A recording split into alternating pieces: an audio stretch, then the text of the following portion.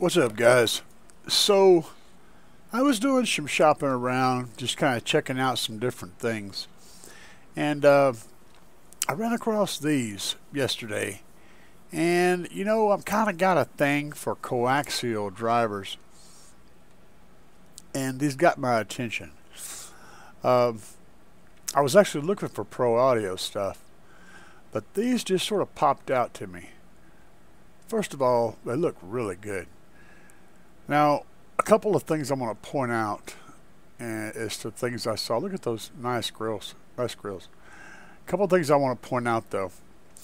So you notice in the back of the driver you have a screw here and it's exposed with the label out so you can get to it without tearing the label up which is cool.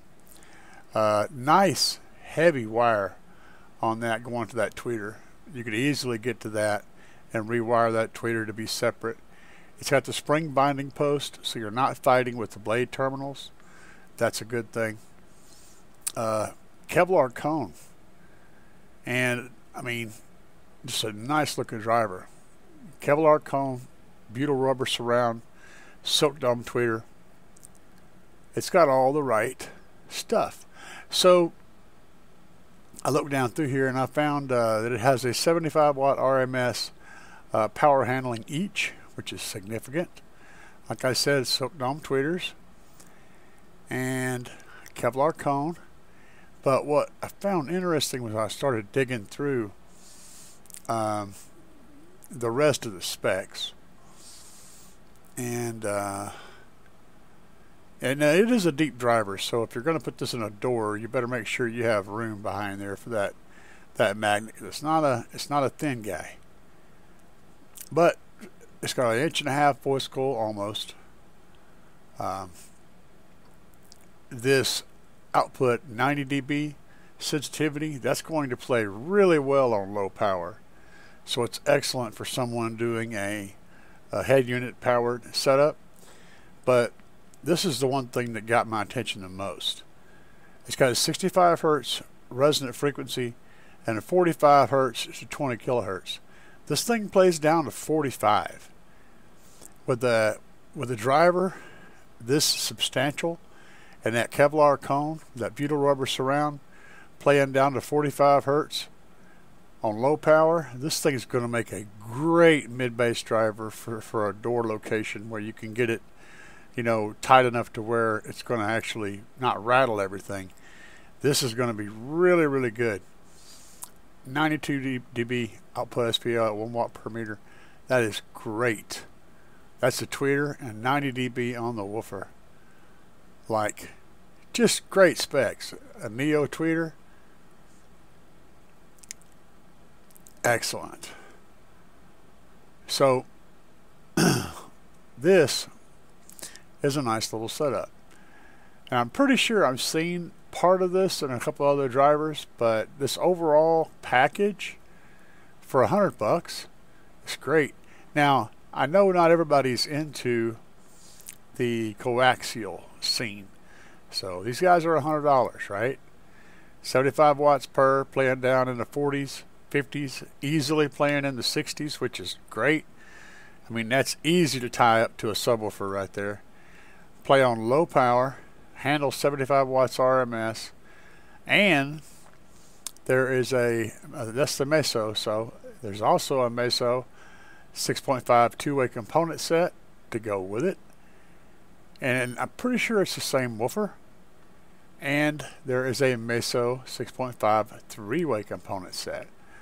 So you could totally do with these three sets, or any combination of these three, you could totally do a cars, all the cars, mids and highs, and ordering all three of those together is 500 bucks.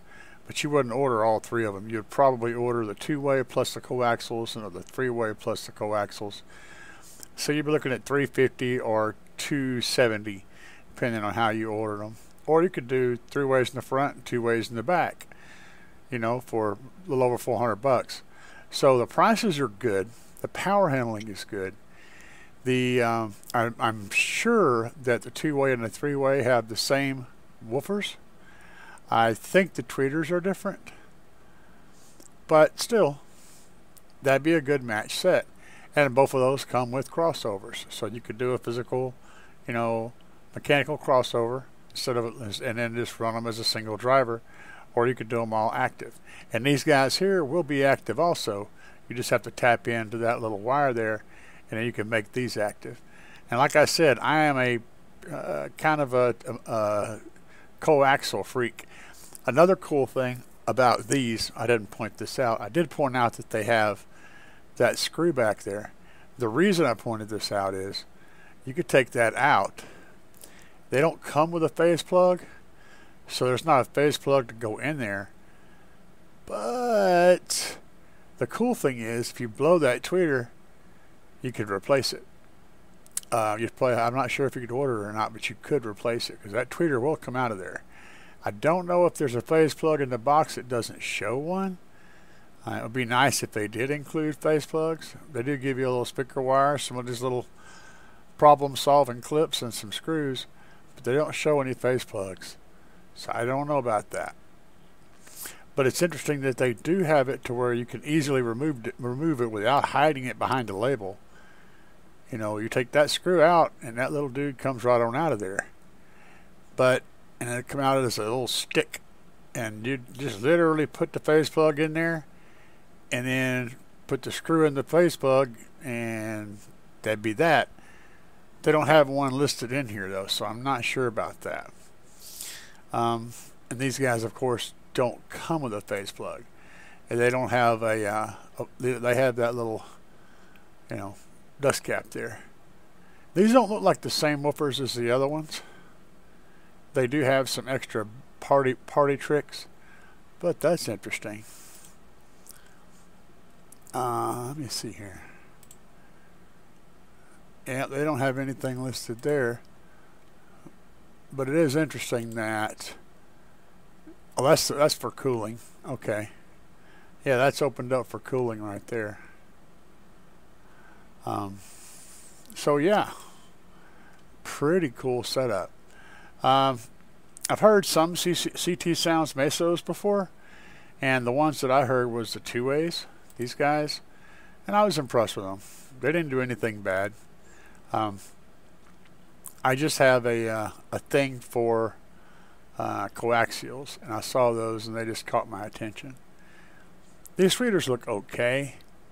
Nothing to write home about, but they should do the job. They do sound good, though. Like I said, I've heard this set. I know what they sound like. And I'm not sure about the coaxials. I haven't heard those yet. But for a hundred bucks, I mean, that's a solid deal. If they sound anywhere near as good as uh, as those two ways do, and I'm sure they do, that's a solid buy right there. And I'd be willing to bet you that that there's a other companies, manufacturers, phase plugs will fit right in there. Uh, very standardized, which is why I think that they actually come with this solution back here exposed and, and pre-cut is because another another manufacturer or the same manufacturer manufactures for a different company that does offer these with a phase plug. So I'm sure there's some out there. And uh, but yeah, good looking driver if you guys are interested in a good set of uh, coaxials, this might be the jam for you right here. At a hundred bucks, man. Can't go wrong. Anyway, guys, peace.